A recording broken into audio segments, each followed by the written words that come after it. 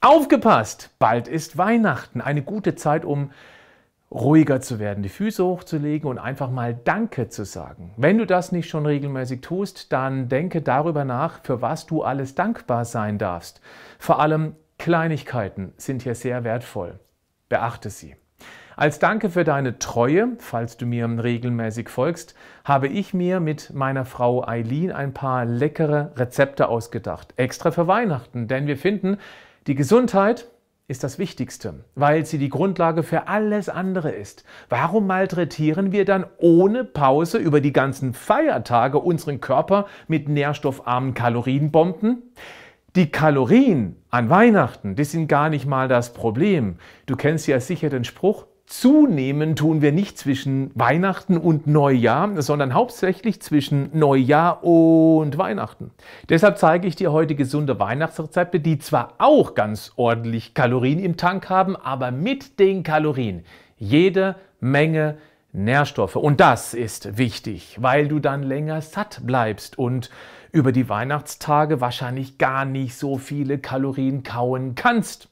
Such dir mal ein Rezept aus und teste es einfach. Hallo, ich bin Ernährungs- und Fitnesscoach Patrick Heitzmann. Schön, dass du mit dabei bist. Los geht's!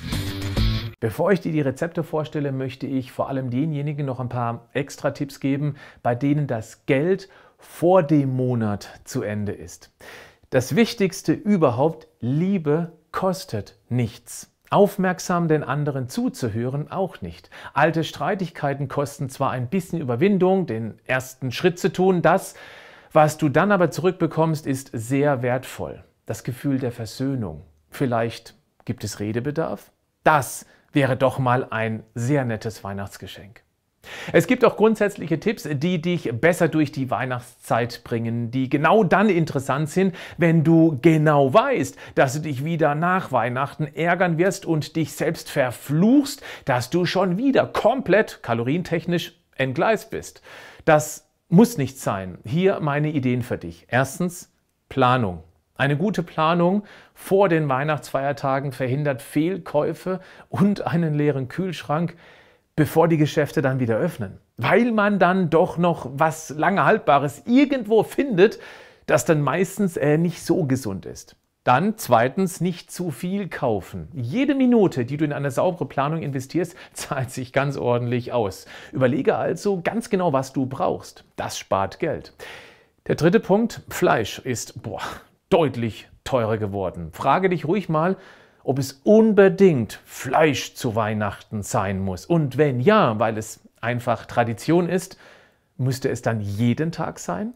Manchmal braucht es einfach eine Alternative und den Mut, sie zu probieren. Der vierte Tipp, falls du das bisher an Weihnachten noch nicht gemacht hast, Gemeinsames Kochen mit den Kindern, den Freunden oder dem Partner, das bringt nicht nur Spaß, sondern stärkt auch das Gemeinschaftsgefühl. Außerdem schmeckt selbstgekochtes viel, viel besser und ist meistens auch noch viel günstiger als irgendwelche Fertiggerichte. Fünftens, um Geld zu sparen oder andersrum nicht unnötig Geld rauszuwerfen, plane nicht zu kurzfristig vor Weihnachten. So kannst du in den Wochen vor Weihnachten ein paar Angebote von länger haltbaren Produkten nutzen. Viele können auch an Weihnachten einfach nicht die Finger vom Alkohol lassen. Sie können den gar nicht stehen lassen. Wie wäre es dann, wenn du es mal mit einer Weißweinschorle versuchst?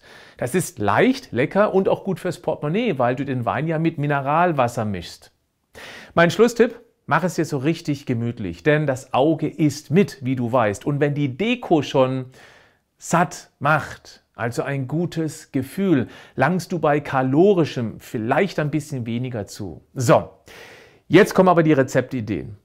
Ich verlinke dir die gesunden, sehr leckeren Rezepte dann in die Videobeschreibung unter diesem Video. Beginnen wir mit den Vorspeisen. Die erste ist Kürbis mit Zimt, Feta und Rosmarin überbacken. Das sind Vitalstoffe und Eiweiß pur. Vorsicht, das macht ganz schön satt. Nicht, dass du den Nachtisch ausfallen lassen musst, weil du nicht mehr kannst. Oder Vorspeise 2, übrigens sein Lieblingsessen, eine Süßkartoffelsuppe, die hat richtig Nährstoffpower. Die Nummer drei ist eine Gemüsebrühe mit Flädle. Die gibt dir einen Vitaminkick. Die Flädle, kennst du eigentlich diesen Begriff? Kannst du mit Dinkel Vollkornmehl machen, dann haben sie natürlich viele Kohlenhydrate und weniger Eiweiß, klar. Wenn du sie in sehr gesund und eiweißreich machen möchtest, dann kannst du auch ein spezielles Backeiweiß oder eine Pancake-Mischung dafür verwenden, mit dem du natürlich auch noch andere tolle Gerichte machen kannst. Die beiden sind vielseitig einsetzbar. Bitte beachte aber, weil in den beiden Produkten sehr hochwertige Rohstoffe drinstecken, kannst du das zwar mit den Backeigenschaften eines Mehls vergleichen, nicht aber mit dem Preis. Der ist natürlich schon spürbar teurer. Vielleicht ist es aber deine Gesundheit und Figur wert? Wenn du das noch gar nicht kennst, dann klick mal auf den Link in der Videobeschreibung.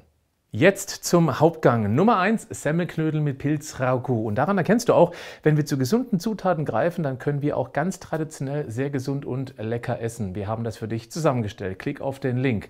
Das zweite Hauptgericht, da möchte ich gerne an das erste anknüpfen. Vielleicht geht es nämlich auch einen Ticken leichter. Du kannst nämlich statt der Semmelknödel auch Low Carb Rösti machen. Großer Vorteil, deutlich mehr Eiweiß. Und das macht satt. Und jetzt die Nachtischauswahl. Wie wäre es mit einem fluffigen Kaiserschmarrn an winterlichem Pflaumenkompott? das hört sich zu gut für dich an? Teste das Rezept. Oder ein himmlisches Bratapfeldessert mit Spekulatiuscreme. Das wäre doch mal ein Versuch wert. Klick auf den vorhin angesprochenen Link und suche dir mal eines dieser Rezepte aus. Mach es in den kommenden Tagen. Vielleicht schafft es da ja was regelmäßig zu Weihnachten in der Zukunft, weil es einfach so lecker und dann auch noch gesund ist. Ein Versuch ist es wert. Oder ach, nach den ganzen Rezeptvorschlägen habe ich jetzt selbst Hunger bekommen. Ich muss mich mal darum kümmern, dass der was abbekommt. Jetzt noch ein Schlusstipp.